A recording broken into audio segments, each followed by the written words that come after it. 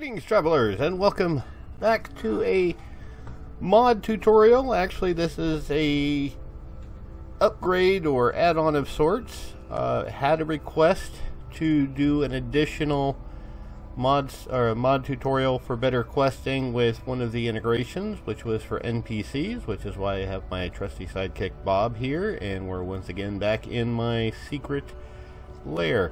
Um, the question was I was wondering if you would continue the lessons with Better Questing and the Custom NPCs expansion to show how they link up into the same quests. Also, it would be amazing if you showed how to set up a location quest, since whenever I do it, it always auto-completes when I leave edit mode. Sorry, I know you went over a lot of this stuff in the video, but I'm very confused since I'm just seeing the end result would be great, and I would appreciate it if you showed the beginning, middle, and end of this process of the better questing with NPCs. But either way, got a like for me. And that was from Red Wolf 10 million. I think that's the number of zeros there. Uh, Red Wolf, absolutely. Just like I replied, ask and ye shall receive. So the reason we're in here and in my dev environment for Tolkiencraft 3 is because I have a lot of that already done. So rather than reinvent the wheel, I'll just show you the process as I do it. And we'll go from there. So the first thing we're going to do is we're going to start with the uh, location quests because I'd already have been starting to put in some quests for a new chapter and just so happens that one of the first things I do with my quests is I have a location task. So the way you're gonna do that and we'll go out of here and we'll go out and hit edit and pick this and designer. So with a location quest so you get your main quest. You have to create that. You should have learned that by now I hope.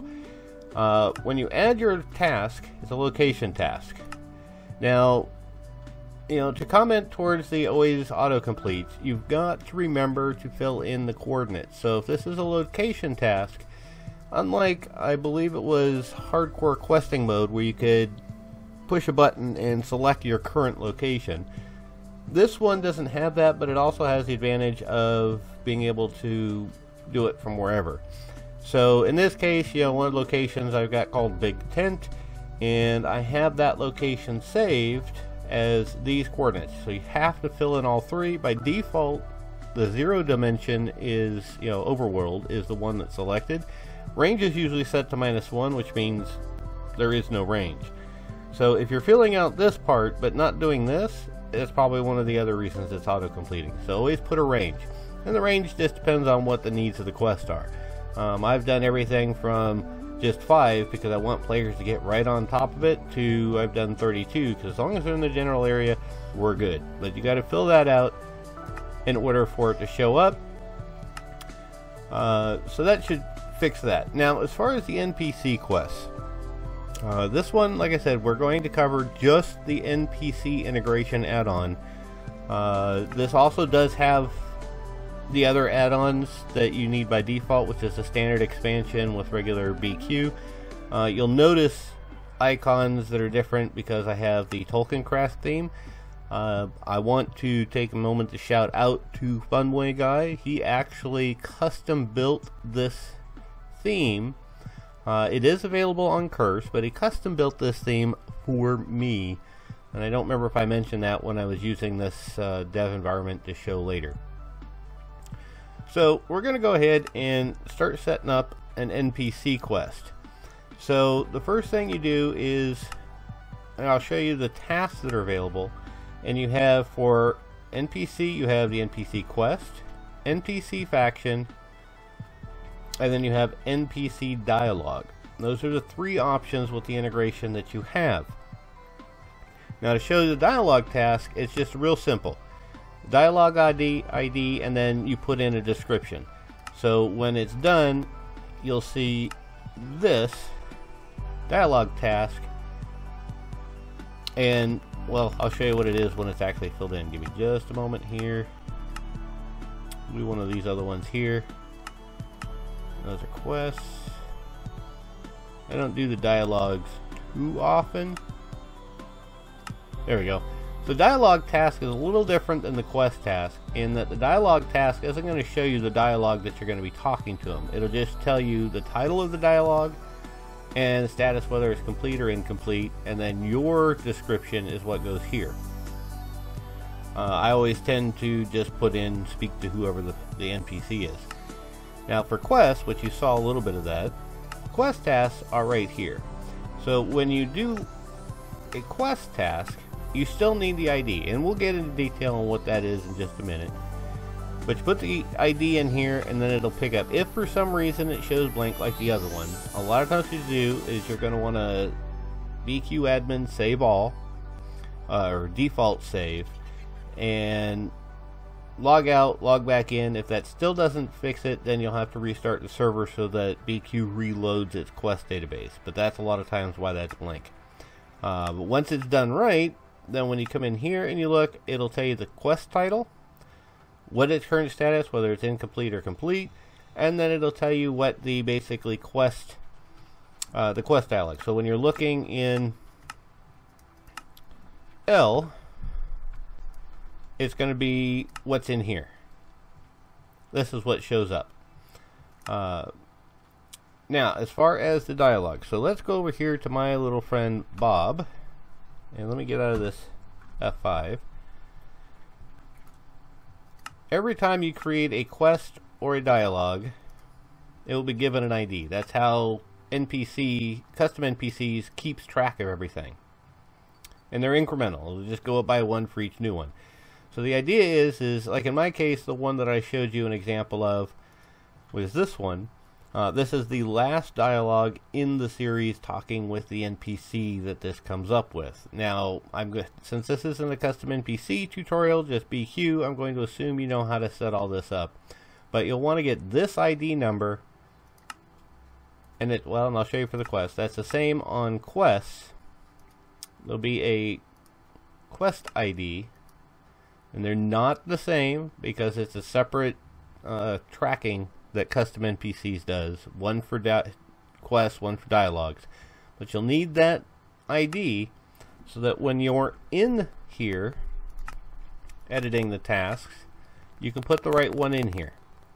And then what it'll do is BQ will double check as you're talking. Once you complete that quest, it'll run, you know, the completion standard. Now, the faction one, that one, same thing, same concept. You need the faction ID, which, again, I will show you. When you're in the global and factions, each faction has its own ID. And that's what you need. So that when you're in the book, setting up, go back. When you're setting up these quests, I go back here to designer. It'll track what your current faction level is for that faction. It'll tell you the name of the faction and how much your current points are to track for quest completion. Uh, if you go back here, you can see back in here, got to have that much.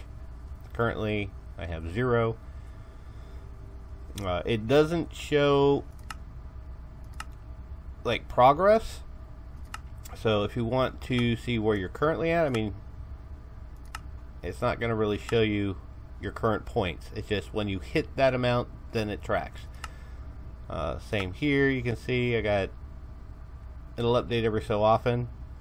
Uh, but that's the same thing. So when you're edit, task, faction task, you get the faction ID, what the target is for the amount, and then whether you want more or equal. You can also do equal to uh, you can do more basic ones. Alright? So then, of course, once that's completed, then you can give whatever reward.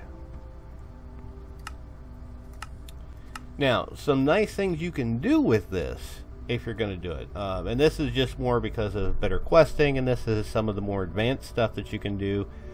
If you look like here, this is, I'm starting this chapter, and I've just got the first few bits put in.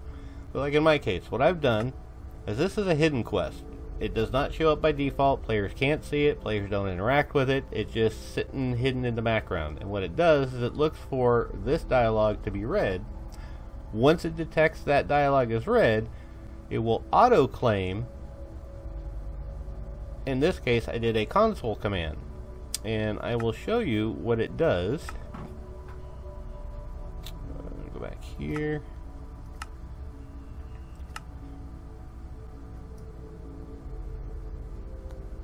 Do quest completion. And we'll go back here. And then we can go in here and claim. And in this case, it does a title. Now I did those so that after talking to the NPCs and triggering the dialogue, it's basically just a fancy way of letting players know you're now moving into the next stage of the quest line. Um, and you can actually get even more involved. I gotta stop hitting the eye. It keeps doing, I keep going in there. Uh, there's some others, like if I go over here, you'll see this one's only got a few. But like this one, what this does, and I'll show you there's several commands here, but oh, we'll go back here. And this one, I've set it up so that based on whatever was going on for that quest, it auto starts a quest because you can use commands in Better Questing. This will then allow you to start a specific quest. Again, follow the commands on how a custom NPC sets up, but this way it triggers this quest to start for the player, and then this one starts another quest for the player, and then this one. And the reason I did that is because, unlike custom NPCs, where a, one dialogue triggers one quest, with custom or with better questing integration, uh, it works out because now I can, once I do a specific item, like in this case, dialogue, I can now tell Better Questing to trigger adding additional quests. In this case, there's three additional quests that the player will now get in their quest log to go complete, so that it gives you a little bit more depth for the quests that you're setting up between Better Questing and custom NPCs because now you can have, like in one case, I have a quest where the giver tells the player, hey, I need you to go do these tasks for these people. Instead of having one quest where you have to go and hope the player does whatever the task says, now you can have a quest for each part of the task. Uh, one that I've been working on, I'll be working on with this new category, is Elrond is going to want the player to go talk to Aragorn and Boromir and each of those guys will have their own quest to give. So, what I would typically do, so in order to do that, I have it set up to trigger two additional quests so that you can then do the different parts. And this way, it prevents you from having to have a player stuck in a specific order. Uh, a good example of this is in my previous mod pack when I didn't have better questing, HQM didn't allow for any kind of random order. In other words, the player had to do it in a specific order or it wouldn't work. Uh, whereas now with this, I can give the player, say, three different quests. They can complete them in any order they want, but still ultimately get the main quest that I want completed done, but in the order the, the player decides to do. So, um, like back here, was it here? I did the yeah. So like this one here, one of the first quest chains. You know, what it is is that you have to go to different caves and search for a person. And I say search in quotes because you're actually using, in this case, I'm using a combination of Minecraft scoreboard to detect using command blocks if a player is holding a very specific item in their hand. And to get around cheating, uh, there is custom NBT that I manually entered into the item that they get. When they hold it, it detects that that specific item is held and it does whatever task it is. But I didn't want the player to have to go to these three caves in a specific order, so they got three different quests for one for each cave, and then that way the player could go to whichever cave they wanted to first, second, and third. The end result is when it was done, then it completed this quest. Which there was a corresponding one in custom NPC. So it worked out really, really well. Um, but the, the real key for making sure that these work properly, again, is paying attention to the dialogue ID, which, once again, you get that from within the custom NPC editor when you look at, well, we'll do dialogue since that's the one I was doing. Dialogues, and there it is. Dialogue 41 because what's going to happen is after you read that that'll trigger and open the next quest in the chain. And you can kind of get fancy. I mean I could go all day on on different methods that you could do. All I have to say is just give it a try. Play around with it. You know I got to this just literally tinkering around with the best the, the quest book. And you know you don't have to strictly just use NPCs in the book like I said, I've got stuff here where I use command blocks. And then, of course, Custom NPCs also has uh, scenes, which there are plenty of videos on YouTube for describing what scenes are and how to use them. But you can even use that to do things like trigger additional quests or or dialogues being read and you know just kind of combination of all those things to really get some pretty fancy quests going with better questing and custom NPCs. And in my case, as you can see, I try to use the better questing more as a journal of sorts to kind of help the player stay on track. But in a way that the player can't get too far ahead without doing the quests and better questing to help keep them on track. Because if they get too far, things won't sync up and they either won't have the quest they need to complete or they won't have the item. So you kind of use it as, as a stopgap to make sure to help the player stay on track the entire time they're questing. So, you know, the hope that helps. I, I without, I mean, really, there's not a whole lot I can do is actually show other than showing you the steps of what I did for each one because it's really more a matter of practice.